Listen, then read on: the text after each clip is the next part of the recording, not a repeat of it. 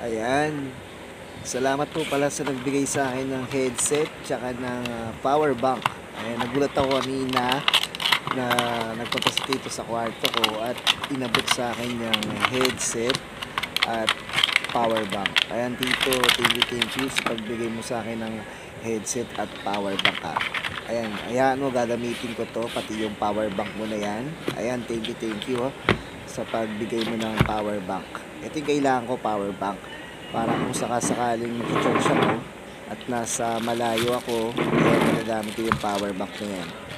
Ah, sa ulit, ah, hap, ah, thank you, thank you kay Tito Willie Wilfredo Canlasbic